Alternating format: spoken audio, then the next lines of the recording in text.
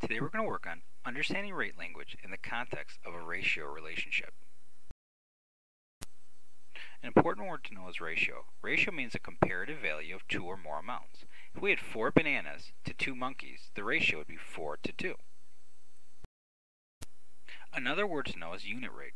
Unit rate is a comparison of two measurements in which one of the terms has a value of 1.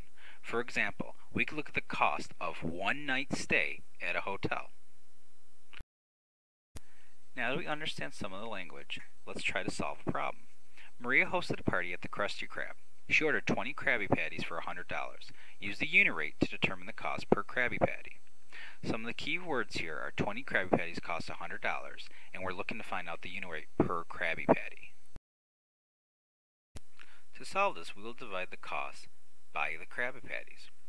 We know that we spent $100 on 20 Krabby Patties, so we'll divide 100 by 20.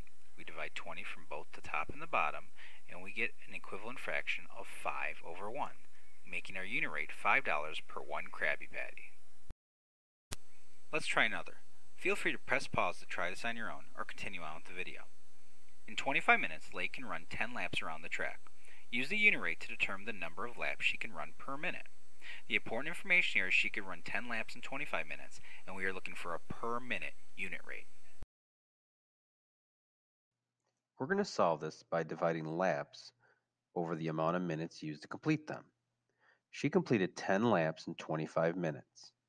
We're going to divide 25 from the top and bottom to get an equivalent fraction of 0.4 over 1, with a unit rate of 0.4 laps per minute.